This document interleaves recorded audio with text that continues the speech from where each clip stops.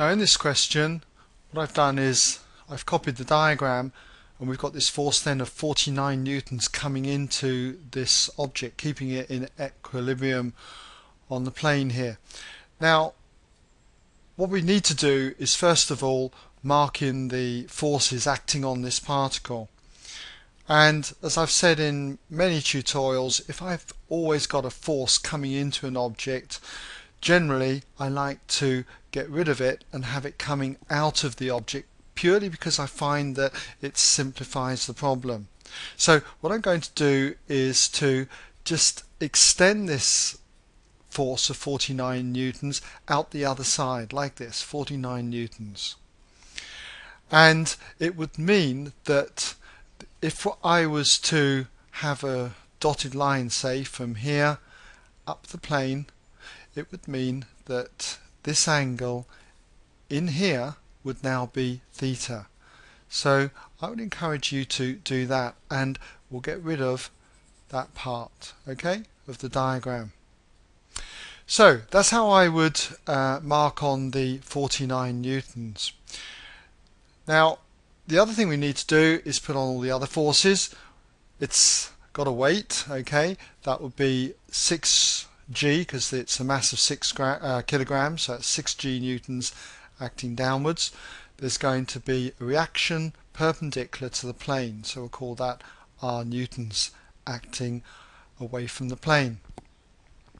Now whenever you get plane questions again I would also encourage you to look at having a dotted line parallel with the plane and also perpendicular to the plane.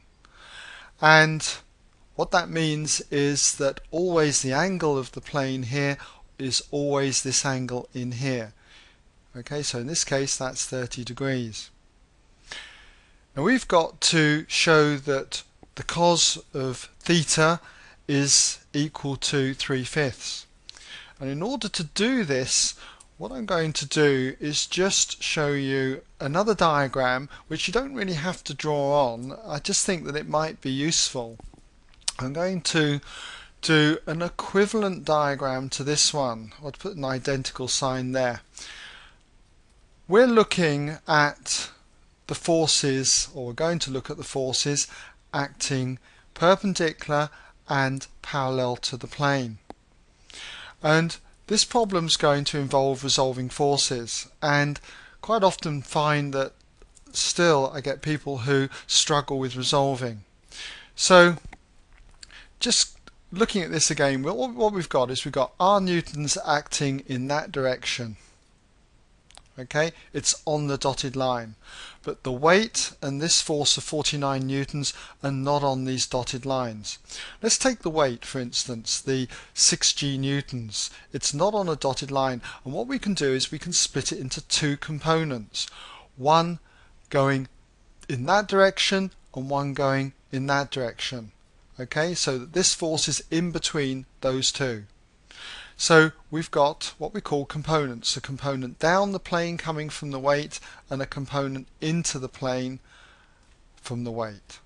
Now whenever you've got an angle that's contained between your force and the direction of your component if you've got an angle marked in like this 30 degrees it's cosine. It's going to be 6g cosine of 30 degrees. That's the amount of force coming from the weight here. Then the other component, because it doesn't contain the angle, is going to be 6g sine of 30 degrees. So it's always cosine when it contains the angle, sine when it excludes the angle. Now for the 49 newtons, this can be split into two components, one up the plane and one into the plane. What is the one that contains the angle up the plane? It contains the angle. It's going to be a cosine. So this force up the plane coming from the 49 newtons is going to be 49 cos of theta. And the one into the plane, because it doesn't contain the angle, is going to have the component 49 sine theta. Okay? Now all of these are forces, all the units are going to be newtons, so should really strictly have newtons at the end of each one. So, in order to solve this problem and all the other parts of the problem, we need to think of diagrams like this. So, what we do is we essentially resolve up the plane.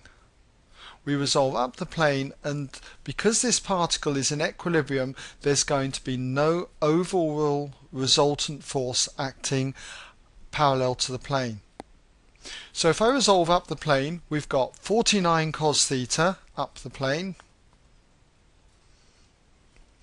And then we've got this force acting down the plane. That's going to be minus 6g sine 30 degrees.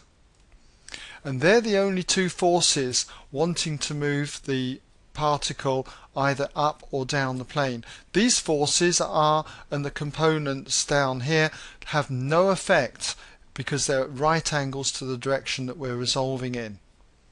So this is the resultant force and it equals zero. Now normally I wouldn't draw this diagram, I would work off this diagram. But it's just I've put this up here just so that you can see what's going on. What we need to do now is make cosine theta the subject and we can do that by adding 6g sine 30 to both sides and then dividing through by 49 and if you work that out you'll either get 0.6 or as an exact fraction that is 3 fifths and that's how you find cos theta equals 3 fifths. Okay so I know that I might have gone on a bit here but it's just so that hopefully you can see how we can split forces into components. Okay, so that brings us to the end of the first part of this question.